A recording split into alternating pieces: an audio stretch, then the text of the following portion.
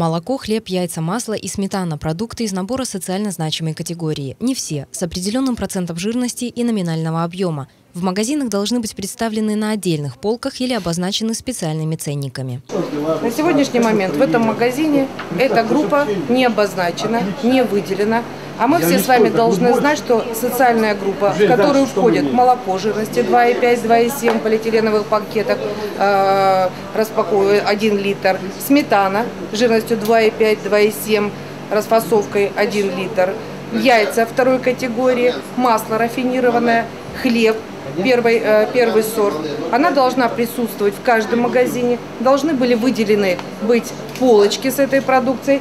Или на этом товаре должны быть ценники желтого-зеленого цвета, э, которые показывают нашему потребителю именно товар социальной группы. И это не все претензии начальника управления торговли и потребительского рынка к хозяевам магазина. Из нелегальной продажи без разрешения на реализацию и лицензии изъяли алкогольные и спиртосодержащие напитки. В двух магазинах продукты на улице Крымской и Амелькова.